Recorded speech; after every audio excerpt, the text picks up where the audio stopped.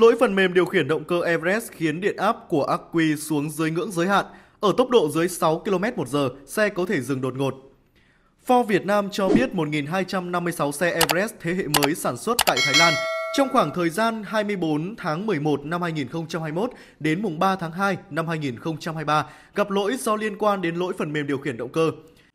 Những mẫu xe Everest bị lỗi lắp phần mềm mô đun điều khiển động cơ có thể hạn chế dòng nạp cho ắc quy trong một số trường hợp, dẫn đến tiêu hao điện ắc quy ngoài ý muốn của nhà sản xuất trong khi xe vận hành. Nếu xảy ra tình trạng này, điện áp ắc quy có thể giảm đến mức không đủ để khởi động lại xe ngay sau khi tắt máy. Nếu điện áp của ắc quy giảm xuống dưới ngưỡng cho phép khi xe ở tốc độ dưới 6 km một giờ, hộp số của xe tự động chuyển sang chế độ đỗ P khiến xe dừng đột ngột mà không kích hoạt đèn phanh. Có thể gây ra nguy cơ va chạm, Ford Việt Nam chưa cho biết sự cố nào xảy ra liên quan đến lỗi này trên các xe Everest bán ở Việt Nam hay không. Để khắc phục lỗi này, Ford Việt Nam tiến hành triệu hồi số xe này từ đầu tháng 9. Biện pháp là cập nhật lại phần mềm mô đun điều khiển động cơ.